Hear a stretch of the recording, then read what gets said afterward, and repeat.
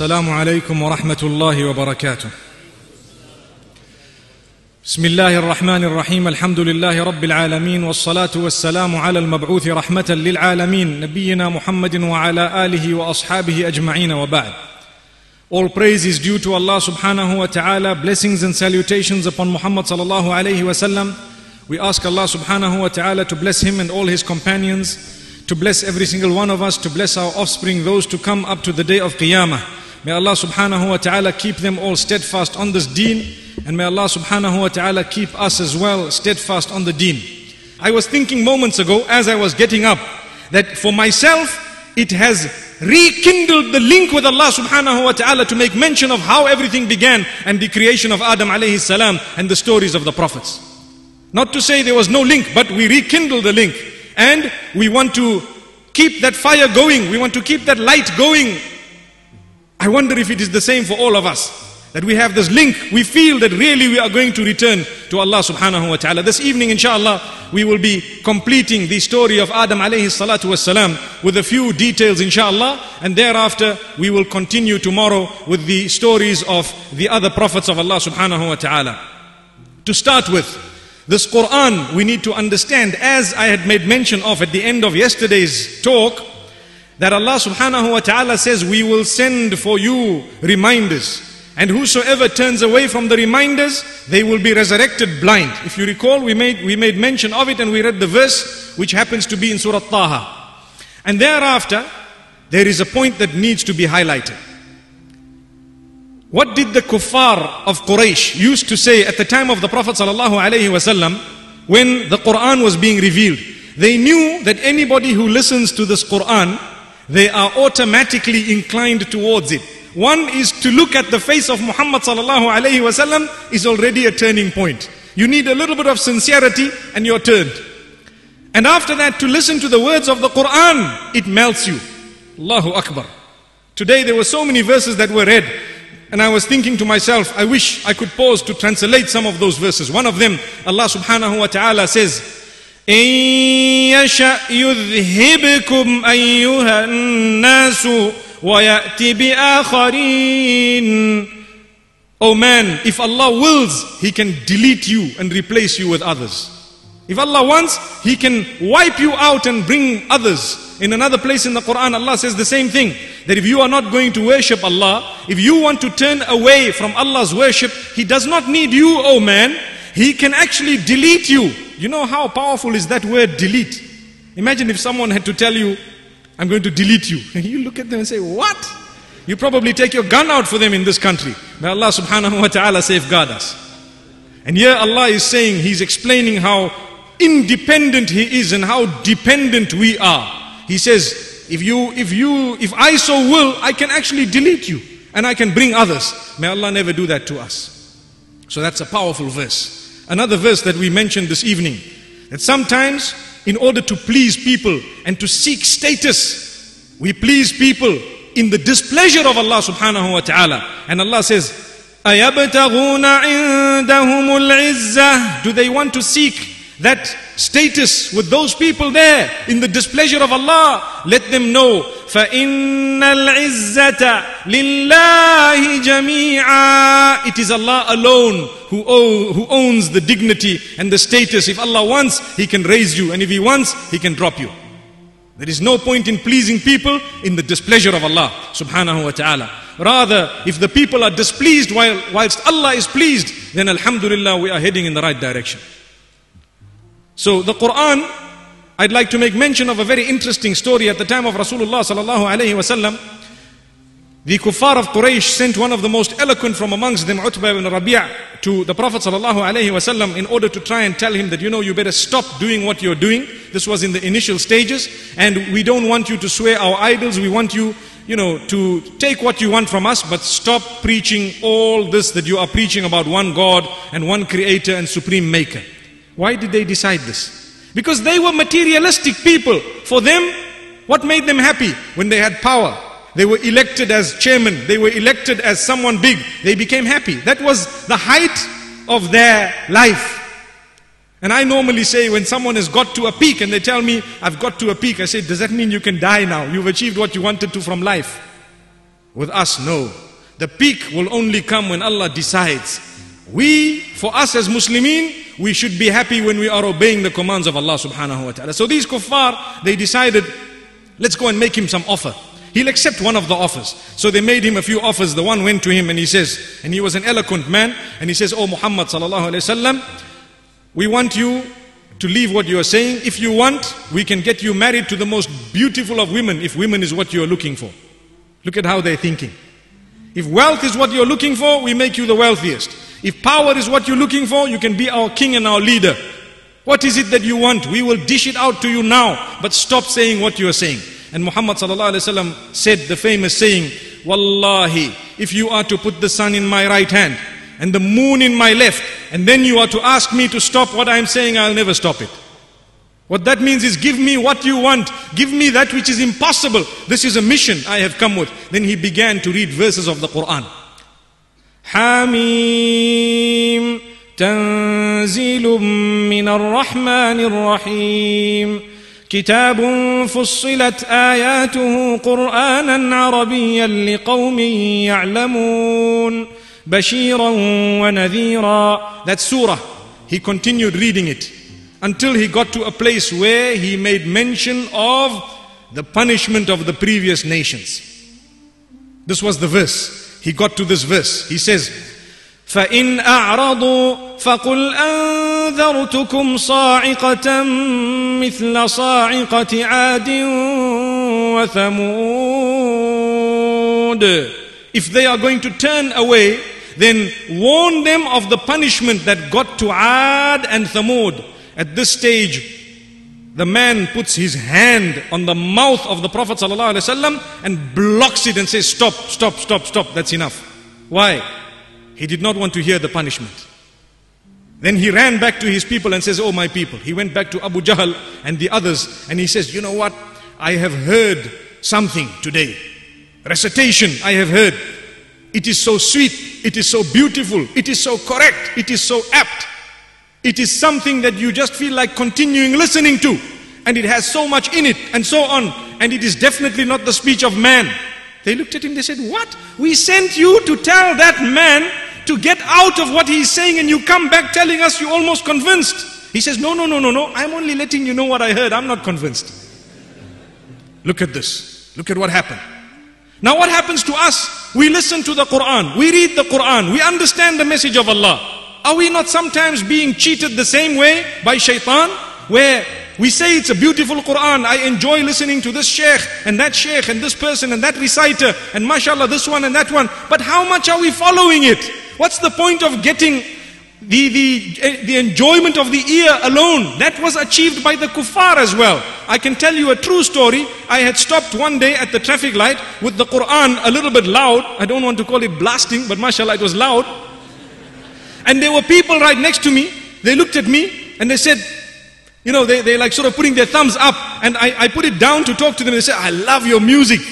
What music is this? So it shows us that if, if we are going to stop at the soothing of the ears alone, then that happens to the kuffar as well. What's the difference? We are supposed to be taking it further and putting practice to what we listen to. May Allah subhanahu wa ta'ala open our doors and may He grant us a deep understanding. So this is why at that time they did not want to hear any revelation. Shaitan had a plan and that plan was he was going to turn people away from revelation and this is why Allah subhanahu wa ta'ala says وقال الذين كفروا لا تسمعوا لهذا القرآن The disbelievers used to say, do not listen to this revelation. Don't listen to the Quran. Make noise whilst it is being read. Because as people were listening to it, it was piercing their ears, it was piercing their hearts, and it was going in. They were digesting it and they were turning. As they were turning, the kuffar did not know how to stop it. Didn't I say yesterday that man needs spirituality in order to complete himself and in order to be content?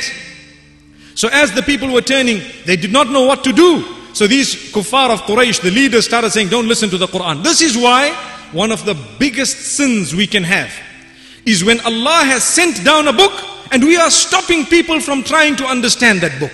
And we are stopping people from reading the book.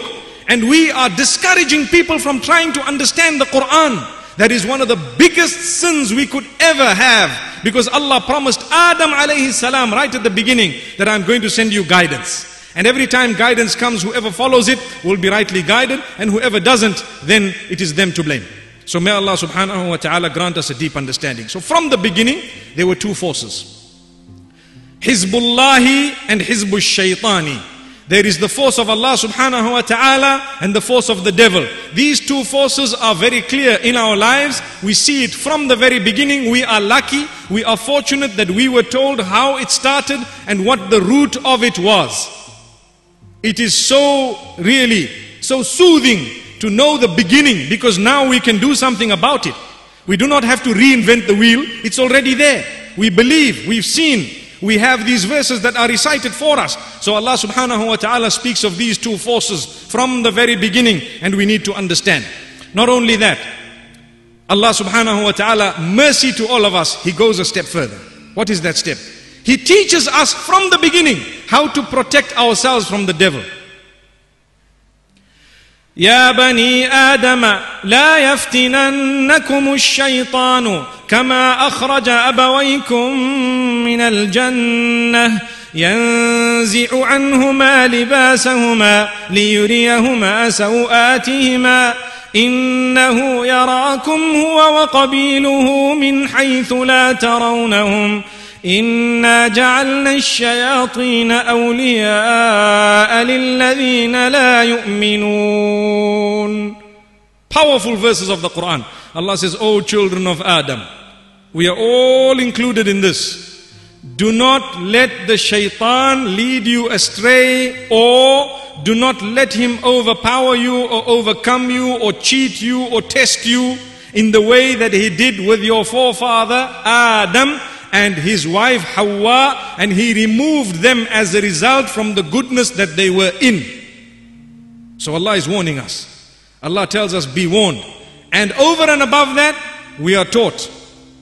The, the last part of that verse, Allah says, Shaitan will not be able to be a protector for those who believe. He can only be a protector for those who disbelieve. He can offer them this sort of false protection for a moment. We ask Allah to make us the true believers and to make us from those whom Allah has protected. Now, if you take a look at Shaitan and what he did, and the fact that he had removed Adam and Hawa alayhim salam from Jannah. He removed them from Jannah by conning them. This happens to us on a daily basis. Allah says, if you ask Allah's protection, you will never ever be led astray. So every morning and every evening, it is our duty to ask the protection of Allah subhanahu wa ta'ala. We are taught. Listen to the verse. Allah subhanahu wa ta'ala says, وقل رب أعوذ بك من همزات الشياطين وأعوذ بك رب أن يحضرون O Messenger Muhammad sallallahu alayhi wasallam, say, invoke Allah, call Allah with the following words. Say, I seek Allah's protection from the whisperings of the devil, and I seek Allah's protection from these devils even coming into my presence. Isn't that a powerful dua? We will find it in Surah Al-Mu'minun towards the end. And this dua should be read by us on a daily basis. We are seeking the protection of Allah from the devil and his whisperings. And we are seeking the protection of Allah from the devil even coming into our presence because we don't want him to come into our presence. What a powerful dua. In a hadith, the Prophet ﷺ speaks about the power of Ayatul Kursi. And I'm sure we all know it off by heart. But we have to read it every morning, every evening. Thrice in the morning, thrice in the evening. In another narration, the power of the last two surahs of the Quran is being made mention of. قل أعوذ برب الفلق قل أعوذ برب الناس They are known as Al-Mu'awwidhatayn. Those two surahs wherein we seek refuge in Allah subhanahu wa ta'ala from so much evil. We need to read these surahs three times in the morning, three times in the evening. Now, what does Allah subhanahu wa ta'ala say? A verse we read this evening. Inna. The plot of the devil is very weak. Shaitan's plot is very weak. And if we are to seek the protection of Allah subhanahu wa ta'ala, it won't even affect us. It won't even bother us. So it's important whilst we spoke about the devil that we also speak about how to be protected from the devil. It literally creates a metal armor around you when you read this early morning and every evening for the rest of the day and the rest of the night. And shaitan will not be able to harm you and attack you. There is something known as the evil eye that is also from the devil. There is something known as jealousy that is also from the devil. There is something known as envy that is also from the devil. We will be protected from all this. We will also be protected from the magic that people want to engage in and the black magic and what have you. All this we will be protected from, including being protected from the jinn kind at large. May Allah subhanahu wa ta'ala grant us a deep understanding. For your information, jinn kind is very, very frightened of man. Very, very frightened of man. But when we show a weak link, then he gets excited. He gets excited. You know, it reminds me of a story. Maybe on a lighter note, we could mention this. They say there was a man who was very soft natured. Very, very soft natured. And when he was getting married, the people were worried that your wife is going to control you completely. Your wife is going to control you completely. He says, So what should I do? They gave him an idea. They said, First night, get a stick and we'll release a cat into the room. And as soon as you know you walk into the room, when the cat appears, you must just put your headgear on one side and start beating the cat until you kill it. And then throw it out of the window like a man, and that's the only thing you're going to need to do.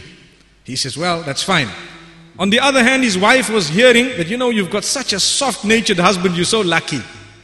So what happened first night? They released the cat, and the plan worked. He beat up the cat, and she was scared, looking at him. This is not what I knew him as. And then the cat died, and he threw it out of the window. And he says, No, I'm sorry about that. He cleansed everything, and it was all back to normal. Every day he would say, I'd like you to do this, or else. Or else what? Subhanallah. Or else. As soon as he says, or else, she's worried that, or else I'll get that whack, you know, just like the cat. Until some time later, she went back to her family. She went back to her friends. But you people told me this man was soft. They said, no, try defying him once. See what happens. You see, we're talking here of the jinn and how weak the jinn is. So what happened is, he says, I want you to have the tea ready at 7 o'clock or else. She says, or else what? Or else I'll have it ready. Allahu Akbar. We ask Allah subhanahu wa ta'ala to grant us protection and understanding. Really. So, how we feel that shaitan and the devil is strong, wallahi he is weak. Defy him and see what happens. Defy the devil. I'm not saying the husbands are devils, but what we are saying, subhanallah, is that we need to learn a lesson. When we have a perception that something is stronger than us, we tend to be overcome by it. Why? Wallahi, it is weak. It is something that is frightened of us. Let us understand, when we defy this devil, and with the Quran and with the words of Allah subhanahu wa ta'ala, it will run away. Getting to the children of Adam alayhi salatu wasalam, how did they come about? It's a question. Hawa, may peace be upon her, she gave birth 20 times. Each time there was a boy and a girl. Subhanallah. They were of different colors, different shapes and sizes in the sense that, you know, the looks were varying from one to the other and so on. And at that time, they had to be marriage. So how were they going to marry? They had a different law. They had a different sharia. Adam alayhi salam, how did he become a prophet? That is also a very important question for us to answer. Initially, he was the father. When he had his children, he began to remind his children of what happened in Jannah and what happened with the devil. So automatically he was a Nabi of Allah. He was, he was reminding them of the beginning and who Allah is and how we must worship Allah alone because He is the sole creator and how the devil cheated them and got them out of paradise. So they all knew directly from Adam alayhi salam that this is what happened and Adam alayhi salam was giving them da'wah. He was literally calling them towards goodness and keeping them on the right track. So as the children grew, one of the oldest children was known as Qabil, in the English language Cain. And the one younger than him was known as Habil or Abel in the English language. We find some similarities in the previous revelations with what we also have in Islam. So what was the difference between these two? Listen very carefully. Cain was not so good looking and Abel was very handsome. Listen to this. And the sister of Cain was very good looking, but she was born in the same or from the same womb. So those two were what we call womb brothers and sisters from the same womb. And when it came to Abel, he was very good looking. But his sister was not as good looking. Look at how looks affected them from the very beginning. So Adam alayhi salam instructed the two when the time came and they Allah put naturally in them the inclination towards marriage and partnership and so on. So Adam alayhi salam says, you will marry the sister of this one and this one will marry the sister of your, meaning your sister. So Cain, his sister was very good looking. He looked at this girl he's supposed to marry and he says, she's not that good looking. And why must I give my sister to this guy? Why? Imagine the question. I don't want to give my sister, if we read the books of the historians, Ibn Kathir rahimahullah has made mention of what I'm saying. He says, Qabil or Cain says, I don't want my sister to go to him and I don't want to have his sister. I'd rather have my own sister, he's saying. Astaghfirullah. But anyway, that was what went through his mind. And as a result, it created a problem. Look at how marriage up to today creates problems between people. The hadith, the Prophet ﷺ says, إِذَا جَاءَكُم مَّن تَرْضَوْنَ دِينَهُ وَخُلُقَهُ فَزَوِّجُوهُ إِلَّا تَفْعَلُوهُ تَكُن فِتْنَةٌ فِي الْأَرْضِ وَفَسَادٌ عَرِيضٌ If a proposal comes to you from a person whose level of deen you are happy with and whose character you are happy with, then get them married. If you don't get them married, there will be great fitna and fasad and corruption and lots of chaos on earth. Imagine, from the beginning this happened. So, Cain was worried about looks and he says, I'm not going to marry her. Now, as the turbulence continued, they went to their father. The father heard about it. He was upset. He tried to explain to them and he made dua to Allah subhanahu wa ta'ala and Allah showed him a way out. What was the way out? Allah says, instruct the two of them. One was a shepherd and one was a farmer who had produce. Instruct the two of them to give out a charity. Instruct the two of them to give out a charity. And whoever's charity is accepted will be correct. Now what happened? This is made mention of the Quran, in the Quran. Allah says, واتل عليهم نبأ ابني آدم بالحق O Muhammad sallallahu alayhi wasallam, recite to them the story of the two sons of Adam with truth.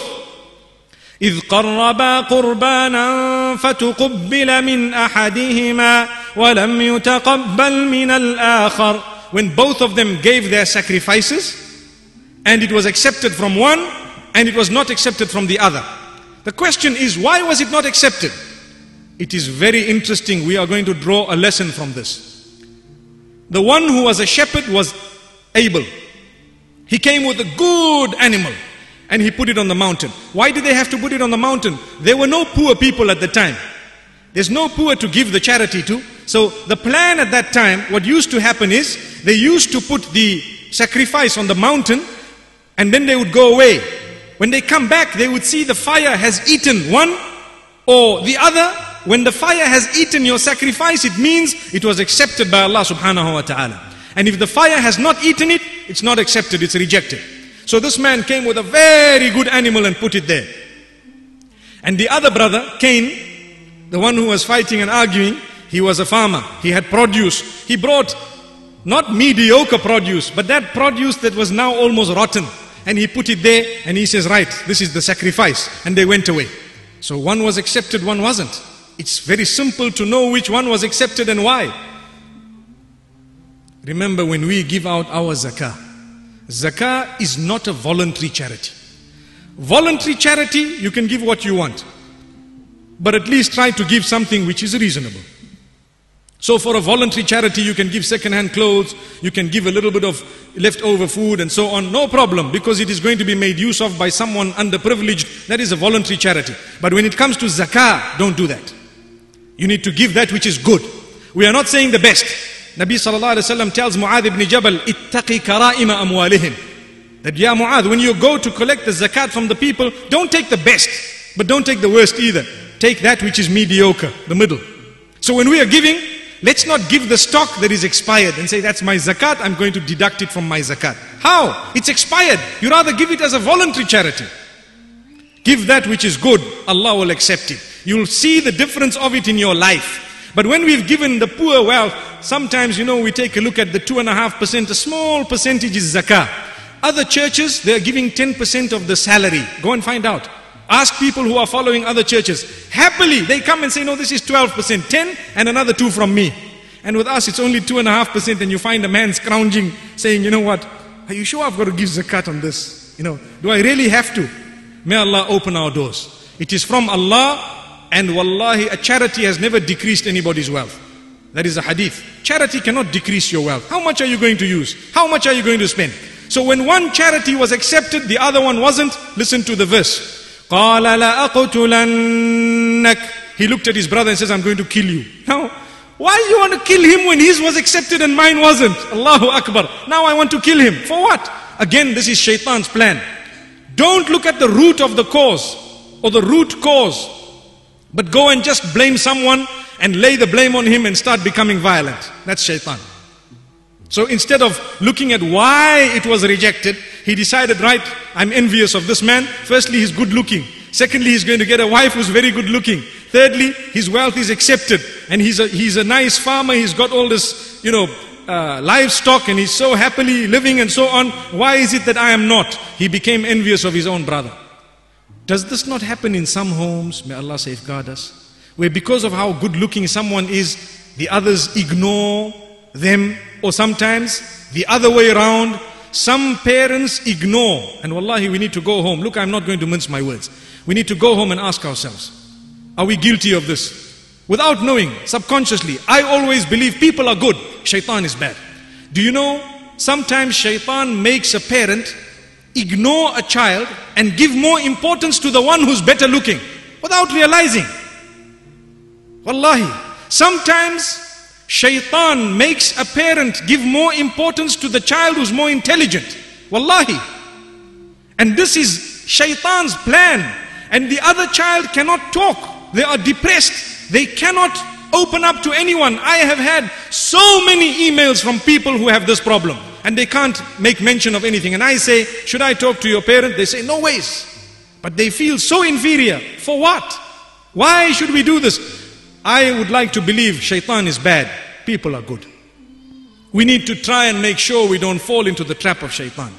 So let shaitan not do the same thing that he did with the children of Adam where because of beauty there was big chaos and disaster. Either way. May Allah subhanahu wa ta'ala grant us understanding. So we are talking here both sides of the coin. So he says, the brother gave an answer, إِنَّمَا يَتَقَبَّلُ اللَّهُ مِنَ الْمُتَّقِينَ Allah is going to accept the charity of the person who is conscious of Allah. Allah will accept the charity of the one who's conscious of Allah. لئن بسطت إلي يدك لتقتلني ما أنا بباسط يدي إليك لأقتلك إني أخاف الله رب العالمين If you are going to stretch your hand to kill me, I am not going to stretch my hand to fight you or to kill you back or to do anything to you because I fear Allah. I fear our creator who has created entire creation and he is the Lord of the worlds. This was the answer of the brother. But what happened? This brother was adamant and shaitan had taught him how to kill. Imagine. How would someone have known how to kill? You got to stop this person from breathing. How? Shaitan taught him how to murder. So he hit his brother with something very hard, either a rock or something very hard, and he killed him. Allahu Akbar. He killed his brother. As soon as he killed his brother, he sat there looking at his brother. And he started regretting. He started regretting. Why did he start regretting? That is shaitan. As soon as you do something bad and you've executed it, he goes away. When a person commits adultery, it's made so beautiful. The run up to adultery is so beautiful. If he has iman or she has iman, as soon as it's committed, there is a guilt in the heart. Straight. Because now shaitan is gone. You feel. This is why one narration says, إِذَا سَرَّتْكَ حَسَنَتُكَ وَسَاءَتْكَ سَيِّئَتُكَ فَأَنْتَ مُؤْمِنٌ a sign that you are a mu'min is when your good deed makes you happy and your sin makes you regret. That's a sign you're a mu'min. But then there are people who will commit adultery after adultery and they will continue and go on and on. there are some on drugs. The first two times, two, three times, they regret. After that, no regret. After that, they do it openly. One brother was telling me that when they went to the World Cup, only Allah knows. He says, "I've seen so many people offering me weed. And when, they, when I said, no, I don't do this, they said, what? You're probably the only one. I said, no, it can't be. May Allah subhanahu wa ta'ala safeguard us. If it's that common, then may Allah subhanahu wa ta'ala protect us from shaitan. And I'd like to believe that the brother was telling a lie. Because by the will of Allah subhanahu wa ta'ala, we are not like that. We ask Allah to open our doors. Once the brother was killed, he looks at his brother, and now he went away, he went to Adam alayhi salam, and he carried on with the day. And Adam alayhi salam asks him, Where's your brother? He says, My brother?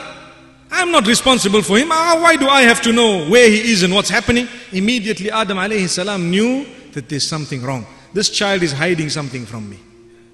There is something wrong. Now, later on in the evening, he went back to the body and he's looking at it. And the following morning, he's looking at this body again. And now it started releasing a stench. It started releasing a stench. And he was remorseful. Because of his regret, Allah subhanahu wa ta'ala had mercy on him. By sending him a lesson through two crows. Allah says in the Quran, فبعث الله غرابا يبحث في الأرض ليريه كيف يواري سوءة أخيه. قال يا ويلتى أعجزت أن أكون مثل هذا الغراب فأواري سوءة أخي فأصبح من النادمين. He regretted when he saw these crows come and the one was digging in order to bury the other. And it dug and put the other into the ground and covered it. So he says, Can't I be like this crow? Let me do this. So he dug a hole also and he buried his brother and so on. And he was very, very remorseful. And thereafter it is reported that he could not really stay with Adam alayhi salatu wasalam and them with all the regret that he had. And so he went away. He went quite far. In fact, one narration says he carried the body on his back and he went quite far and then he buried it at a bit of a distance. Now he had gone. And thereafter, what happened? Introducing the One for Kids TV app. Have peace of mind knowing that all content in the app is carefully crafted to be safe, educational, and in line with Islamic principles. It's an environment where your children can learn, grow, and have fun in a wholesome and enriching way. Download the One for Kids TV app now from the Apple, Google, and Amazon stores today.